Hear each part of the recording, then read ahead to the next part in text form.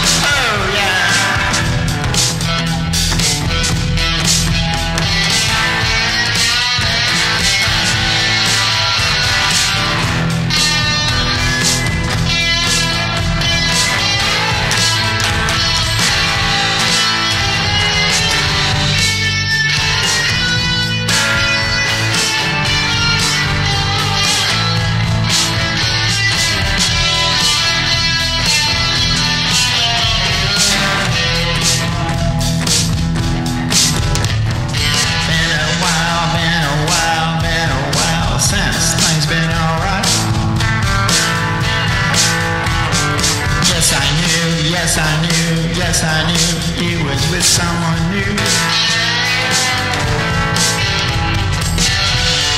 Here's some news for you.